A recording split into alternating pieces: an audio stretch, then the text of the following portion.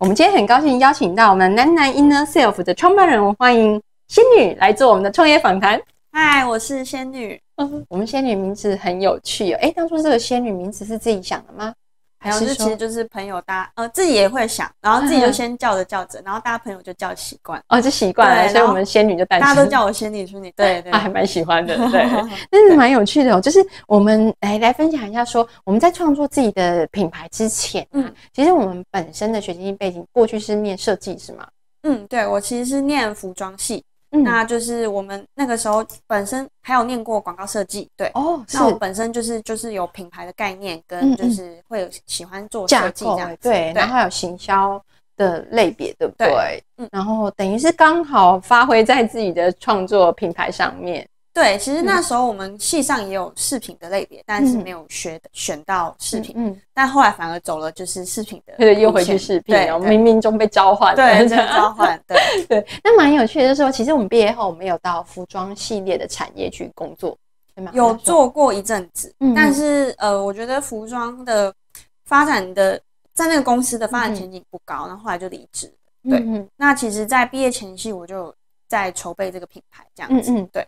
那就是后后续就是毕业后几年就是做那个那个副业这样子，嗯嗯，对，是，所以其实那时候反而是，哎，我们仙女很早就开始发想创业了，对对对，在毕业前，对，哇，那时候有没有想过那时候大概的想法契机是什么呢？为什么想要做创业？就是因为其实我本来就很喜欢塔罗跟占星这类型神秘学的东西，对，那水晶其实是一块可以结合我们设计的专长跟就是。又有神秘的感觉的那个一个领域，对。对。那那时候就跟朋友讨论，然后后来就诞生了这个品牌，这样子。是，所以其实那时候等于是在跟同学讨论啊，跟朋友讨论，发现我喜欢的东西又结合水晶哦，可以又结合自己创作的一个长才哦，刚好就是有创作欲，然后又觉得说市面上可能没有自己喜欢的样子，那就想要创作自己属于自己喜欢的对的饰品，这样是。但是创立初期其实蛮辛苦的，对不对？有点那时候在做斜杠哦，有两个身份，对不对？嗯，那个时候其实是那时候因为还是穷学生毕业嘛，然后没什么钱，然后就要去上班，对，还要上班，然后 就筹备品牌，然后两边蜡烛两头烧，对对，然后后续就是到了我已经两边都太忙，都嘎不住之后，才离职去专心做品牌。像做品牌的开发，嗯。嗯，那我们来分享说，我们做这个品牌啊，等于我们品牌名称是那时候也架构好了嘛，那然后我们来从我们的品牌名称跟理念，我们来介绍。好，那我们的品牌名称叫做 Inner Self，那我们的那个 Inner 是其实是有改过字，就是我们把 I N N E R 改成了 I N E E R，嗯嗯，那我们中间这两个 E 要强调，其实就是 Emotion 跟 Energy。就是强调我们的情绪跟我们的能量，这样子，就是象征，就是水晶它可以影响我们的情绪，又可以带来能量。是，所以其实我们自己理解到，我们情绪跟能量啊，或水晶其实都是有帮助，而且息息相关哦。那是不是在这这我们想创业做的这个东西，也是告诉说，我们自己过去在学习专业水晶的时候，发现水晶的能量是可以帮助我们的。嗯，它可以让我们更深入的去。发现自己的问题，或者是说，呃，就是带出问题的产生的源头等等。所以我们的品牌 Inner Self 就是，其实就是希望大家可以更关注自己。嗯，对，就是因为我们应该以我为优先，然后以自己的感觉，而不是一直去关注他人的感受、别人的想法。对对，就是我们其实是我们自己喜欢最重要。那所以我们的品牌都是设计的以小众概念，就是因为我们都是强调我们每个人的独特性。是对。嗯，那再来我们来分享说，我们创业初期啊，我们是不是会有遇到一些推广的困难哦？别人不知道我这个品牌，我到底怎么样让别人知道？那时候有很伤伤脑筋吗？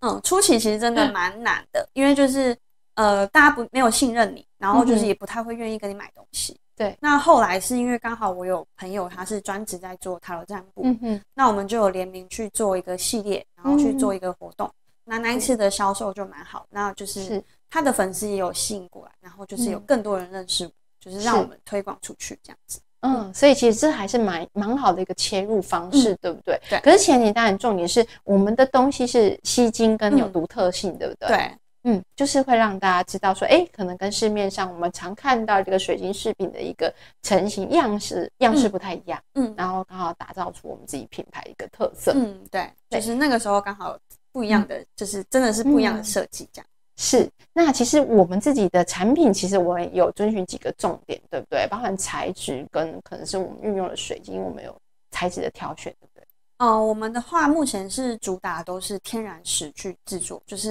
看到的珠珠都是以天然的天然矿石，就算是有珍珠也是以天然淡水珍珠去做。那矿石就是都是以也是都是以天然，因为有些人可能会搭配一些塑胶珠，但是我们就是纯目前是纯天然石。天然石，对对。那材质的部分，我们其实有分三个材质，就是有分包金，就是一般金色的金属，就是包金的部分，对，然后有。一些系列它可以做到铸金，就是包金可能是比电镀再高阶一点，稍微不容易褪色的材质。那在铸金的话呢，就是真的是可以带着洗澡的金色的金属这样子。是，还市面上比较少见，对不对？因为我们铸金应该比较少，因为它真的是很贵，然后它也比较技术，就是工厂也比较少产。这种类型，所以我们那当初有很坚持选择我们的可能，因为还是会有人喜欢，质感要对。比较不同的，对，或然后或者是纯银的，其实也很受欢迎。对，嗯，对，纯银应该是大巴大家一般首选了。对，像我今天戴的也是纯银的饰品，是等于是我们把它自己结合我们自己创作的理念，呈现的形式也不太一样，嗯，跟一般市面上可能弹性绳啊，或者是我有别于一般的市场的一个成型的样式。因为我们是以编织的最为主要，就是金属编织，像这种款式，它就是会有呃，它不会就是一一条到底的这种，就是做编织，就是一颗一颗去串起来。是，对。然后再是我们有做客制化的一个搭配，对不对？对，因为我们就是呃，我们的产品除了是我设计的款式之外，嗯，也会有蛮多客人有刻制的需求，嗯，那就是其实有时候刻制。他们会指定了他们想要的水晶或是能量等等。对，那之后如果有就是配起来还不错，我自己也喜欢的话，我可能也会再拿去再开发成固定款，对，一起贩售。是，然后再来，我们好像有分，我们目前也有做课程分享。嗯，那我们来介绍我们目前的课程可以带给大家是什么？哦，我其实，在二零二那时候就开始有做。手作课体验课程，嗯，那后来发展到后期，有越来越多的粉丝，就是会有敲碗，他们想要，嗯，有更完整的培训，就是他们可能很喜欢我的理念，那就想要整套都学起来，嗯嗯，对，所以后来就是开始就是开发就是培训课程，是，就是可能会从手作一直到水晶的知识，嗯，然后还会有美感的训练跟教货的一些商商业的机密等等，跟创业的一些思维，都会整套的，就是就是寄放在我的课程里面。我们全套教学哦，对，我们把创业理念交出去了耶！啊，这是秘密。但是我们希望是更好的感觉，对不对？我们把这个东西是大家喜欢，有更多人喜欢这个东西，大家一起来从事这个领域。然后，其实看到看到别人是往好的方向走，自己以为是有后的成就感的，对不对？对，就是或者是。就是看到大家是喜欢我的理念，就是会觉得说，哦，自己坚持的理念好像是对的，嗯，对。然后就是看到他们也喜欢我的作品，就会觉得很有成就感。是，然后再我想请仙女分享说，自己在从事创业这这条路上哦，其实也蛮久嘞，从二零二二二做二零哎，二零好久。副业，然后后来二零二二做正业，是很努力的过程哦。前面在兼职的状况，我们也辛苦，哦，很辛苦的一个两头烧，也辛苦了两年，然后到全职哦，到现在，其实我们从其中应该还获得蛮多个顾个顾客的成就感，对不对？带给你的回馈。其实最最开心的回馈就是他们会觉得说，哦，他们找很久，终于找到就是他们也喜欢的设计，嗯就是不会像佛珠或者是说他们觉得老气的设计，它是符合他们喜欢的那种感觉，或者是我的学生也是，他们会觉得还好遇到，对。这种时候就会觉得啊，还好自己的坚持的理念，对，就是是真的是受到大家喜欢，就会觉得自己的品牌是成就感的来。是，那会感感受到自己在打造这个品牌是有被看见跟关注的，是真的有人喜欢，然后就觉得很开心，很欣慰这样子。那未来可能我们透过授课，我们有更多学生的时候，那个成就感又更大了，又是更上一可能会有教学，就是把一个人从白纸培训到完整的。对他可能是创业小白，手做的小白，然后后来他可能也可以自己有独立完成，可能众多的作品又可以帮助别人，嗯，这是一个很棒的一个传递的一个过程。那再来说，我想请我们的心理来分享说，我们自己的品牌，当然未来是希望我们可能授课学生嘛，那有没有希望自己在做其他一些精进的方面，或者是什么蓝图呢？呃，我其实就是会一直去学习，就是关于水晶的知识这方面，我也是一直在不断的增增强，对进修。我也有去学习，就是关于水晶的沟通，对，就是可以更了解水晶他们到底是怎么运作的。对，那就是另外一方面，就是在创业上，就是我也有去做一些创业思维上进修，也是有，就是去更了解说，哎，一个品牌它应该怎么运作可以更顺利，或是说我的时间分配管理、资金分配管理这些。就是不断的去跟更厉害的人去学习，这样子。嗯，如果回想到当初自己在创业，也算是我们是小资创业，对不对？因为从学生时期开始打造，到后来啊，嗯，我们可能走到一个经营品牌，到我们是全职哦，那个理念有不同哦。那我们来分享说自己在创业的这一路上的一个进阶，好像是过关斩将，对不对？对，就是从真的是完全没有资金，我只能很小量的去。叫一点点货来试试看，然后不确定说自己的品牌到底有没有人会吸引他们呐？会不会去购买啊？或者是喜欢你的理念？对，到后来慢慢越来越多的粉丝的回馈，然后就开始觉得哦，自己的路好像没有走错。嗯，对，然后到后来开始就是大家要敲完上课的时候，就觉得哇，居然还会有人想要 想上课哎。对，因为其实一开始朋友有有提议。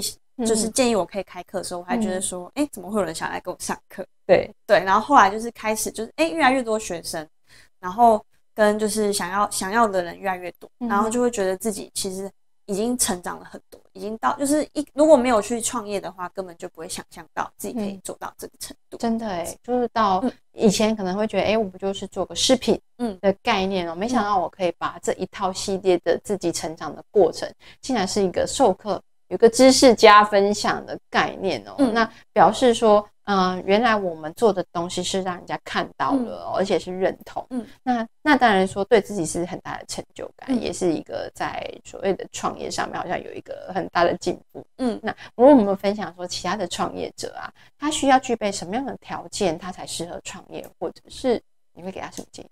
我觉得大家对创业可能都会有一些想象，就是会觉得说，哎，要花很多钱，或者是创业失败会不会赔很多钱？会害怕，对，就是不敢开始。那其实我觉得，呃，最重要的是要先开始去尝试。嗯，那其实不见得一定要很多的资金才能够开始。嗯，其实小资有小资的做法，所以我们可以从小的资金慢慢的，只是它过程比较慢的去开始。那后续的话，就是一定要坚持。嗯，因为就是很多人都是。就是死在就是哎没有办法做下去，就是觉得没有人看到，没有人买，没有人喜欢，那就不做了。嗯，然后就其实是他可能就是坚持，他可以一直不断去学习的话，对，去参考别人怎么成，那其实他可能也有成功机会。但他如果放弃，就真的就没有，放弃就没有。所以坚持这个反而是另外一个关卡哦。对，嗯，我觉得坚持很蛮难做到的，是因为。我我觉得有一些人会有一些创业的想法，哎，我有个喜欢一个东西，哎，我可能会，可能他就会试试看，可能他就开始了，但是他就会卡在，哎，走不出去了，哎，好像走到这没有办法扩展的时候，他就会想说，哎，那要停下来吗？那才发现说，其实他可能就是一道坎哦，你跨过哦，对，哦，其实你就已经，哎，你已经成长了，对，你已经进阶了。其实跨过最初那个艰难的地方，后面其实要再成长都会容易很。嗯，好像是相信自己做得到，你才会一直往前。嗯，对对，嗯，就像我们仙女在回顾自己创业的过程，到从斜杠到全职哦，自己也一定经过一番自己的心境的转折哦。嗯，那做全职这件事情，对自己品牌的一个呃必须成功这件事情的动力又更大。对，就是因为其实这也是一个成就感的形成，就是希望自己不要失败，所以就是无论如何都会付出全力的让它成功。嗯，对。如果回考当初那时候创业的过程，你有想过给自己设停损点之类的吗？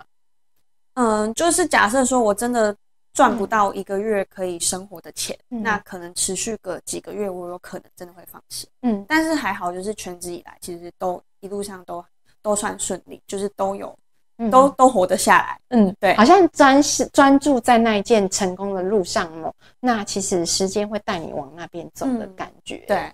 是，我们可以分享说，我们自己在创业这件事情上面，鼓励大家可以透过你的故事，可以看到说，其实创业可能没有这么难。那很更多的害怕是自己的心魔。对对，其实大大家都是觉得说啊，我那时候要离职前也是觉得说，万一失败怎么办？会不会吃土或者怎么样？嗯。后来真的是被点醒，就是反正大不了就是回去上班。